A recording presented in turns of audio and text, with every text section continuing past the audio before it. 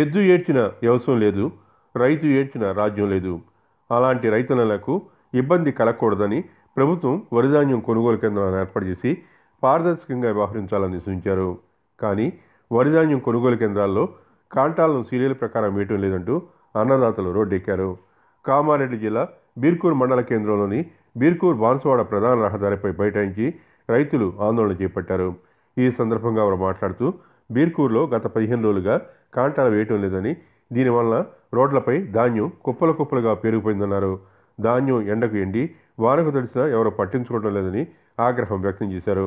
కొంతమంది అధికారులు రైస్ మిల్లర్లతో చేతులు కలిపి రైతుల వద్ద సంచి బరువు తరుగు అంటూ క్వింటాలకు నాలుగు కిలోల వరకు ఇలా అనేక రకాలుగా దోచేస్తున్నారని మండిపడుతున్నారు. అనంతరం పోలీసులు మరియు తహసీల్దార్ గణేష్ వారికి నచ్చచెప్పి ఆర్డీఓ రాజాగౌడ్తో మాట్లాడామని ఎలాంటి ఇబ్బందులు లేకుండా చూస్తామని హామీ ఇవ్వడంతో వారు ఆందోళన విరమించారు. లేరు. లారీలు లేవు. ఏం చేయమంటావు? ఆడ ఓడు వచ్చినో లేడు అటుకిచ్చినో లేడు ఆన కొట్టి డింగాన అయిపోయినాయి. అర్జెంట్గా లారీలు పంపించి ఖాళీ చేసేలా. ఖాళీ చేసి పాత గోదాంలో వేయాల మర్రా తరుగు. అలా గిరిని కాడ తరిగేయాడు తరిగేయద్దు. కాట పెట్టిందే మేము కట్టాడినాం. శుద్ధుల పైసలు అమలు పైసలు మొత్తం కట్టాడినాం. కాబట్టి అవి చేయకుండా లారీ డైరెక్ట్ ఎక్కాల? డైరెక్ట్ గోదాంలో వేసేసేలా అన్ని ఒక్క లారీలే కూడా గరీబ్ వాళ్ళ ముందు పెట్టమని. ఉన్నోళ్ళు ఉంటే ఒకనాడు ఆపమని. మాకేం బాధలేదు కానీ గరీబ్ వాళ్ళ ముందు పెట్టేసేలా. వీళ్ళు ఒక్కడన్నా రాడు. చిట్టీల మీద ఓడినాయి. లారీకి రో- సంచికి రెండు రూపాయలు లారీకి. లారీకి రెండు రూపాయల పెద్ద మనిషి ఆడు చిట్టి ఇంట్లోకి వెళ్ళి రాజ్యాల చైర్మన్. ఆ చైర్మన్ ఇవ్వగానే ఆ లారీ వెళ్ళిపోతుంది. ఎత్తు వెళ్ళిపోతుంది లారీ. ఇంట్లో కూర్చొని చిట్టి రాసే లారీ వెళ్ళిపోయింది ఇక్కడ ఉన్న వాళ్ళు చచ్చిపోయారు వాళ్ళు ఇంట్లోకి వెళ్ళి రాసి ఇది మంచి పద్ధతి కాదు. మంచి పద్ధతితోని మంచిగా చేయమను. లారీలు పంపించాలా? లారీలు పంపించేసి అన్ని ఖాళీ చేసేలా. గోదావరి రూపాయి తీసుకున్నద్దు లారీకి. డైరెక్ట్ అమలు తీసుకున్నట్టు అమలు చేయాలి. ఆ అమలు మీ గవర్నమెంట్దే. కాబట్టి రైతుల మీద ఎత్తిర్రు. పదిహేను పద్నాలుగు రూపాయలు ఇప్పుడు రైతు మీద ఎత్తిర్రు. ఎలా చేయకొచ్చారు. ఆనబడి ఖరాబ్ అయిపోయినాయి. దయచేసి మంచిగా అర్జెంట్ లేపేయమని చెప్పు. మేము నేను రైస్ మిల్కి పోయినాం. ఆ? సంతోష్ రైస్ మిల్లు ఇంటి రాని లోడ్ కాల్ చేసిడు. మరో అదే మన గవర్నమెంట్ కాట సొసైటీ వాళ్ళు పెట్టిరు ఆయనకి పంపించి ఎట్లా? మనం పంపారు ఎట్లా? సొసైటీ వాళ్ళు. ఆయన శంకర్ సాబ్ ఉన్నాడు. అది ఏంది కథలు? లోపల లోపల ఏమైనా లంచాలు తీసుకొని నారాటిందా? నా- నారాటి అంటే మేము ఒప్పుకుంటాం మేము ఇస్తాం అట్లా. అది చెప్పాలిగా ఏడిగా సత్తా వచ్చి బండి వేవాడు ఎందుకు వేవాడు బండి?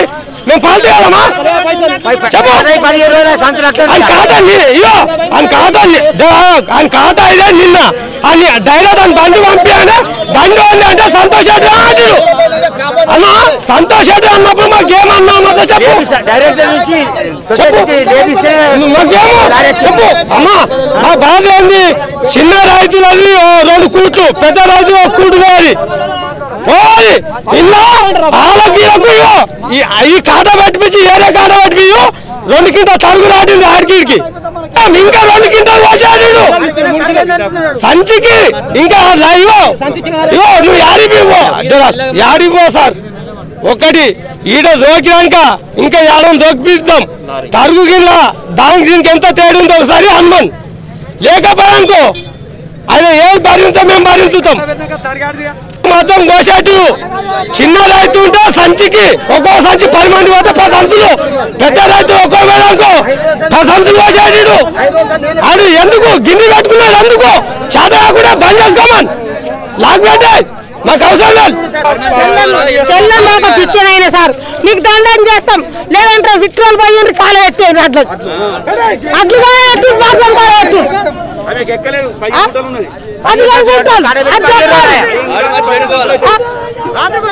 కాదు. చెప్పిండు. పది మూడు లారీలు కలిగితే పదిహేను కడుపు మంట వేసిపోతున్నా సార్. కడుపు మంట వేసిపోతున్నది.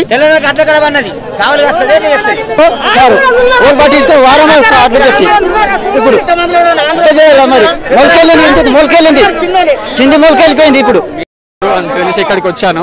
అయితే సమస్య ఏంటంటే సిద్ధి వినాయక రైస్ మిల్ అతను సిద్ధి వినాయక రైస్ మిల్ అతను తీ జాగా లేదని ప్లేస్ లేదని చెప్పి నిన్న నిన్న క్లోజ్ చేసిండు. అయితే వెంటనే మేము ఈరోజు దత్తు పటేల్ వాళ్ళ ఫంక్షన్ హాల్ మాట్లాడినాము. అక్కడ చాలా కెపాసిటీ ఉంది. దాదాపు డెబ్బై ఎనభై లారీల దాకా అక్కడ పడతాయి. ఆ- కా- ఫంక్షన్ హాల్ మాట్లాడినాము. మొత్తం కూడా ఇప్పుడు ఏం ప్రాబ్లం లేకుండా రైతులు అక్కడికి తీసుకెళ్ళచ్చు. తీసుకెళ్ళొచ్చు సెంటర్లకు పీపీసీ సెంటర్లకు తీసుకెళ్తే మొత్తం కూడా ఎలాంటి సమస్య లేకుండా ఉంటుంది. అట్లాగే ఆర్డీఓ గారితో మాట్లాడాను. దాదాపు ఒక పది లారీలు ఇప్పుడు పంపిస్తానన్నాడు ట్రాన్స్పోర్ట్ అతనితో లారీల సమస్య కూడా ఉండదు. లారీల సమస్య కూడా ఉండదు. రైతులందరూ దయచేసి వారి వారి పనులకు వెళ్ళిపోవాలని కోరుకుంటున్నాను. నా అడ్డు కాడబెట్టాడా గవర్నమెంట్ ఎంప్లాయీ నా అడ్డు కాడబెట్టాడా యూనియన్ సెక్యూరిటీ నా అడ్డు కాడబెట్టాడు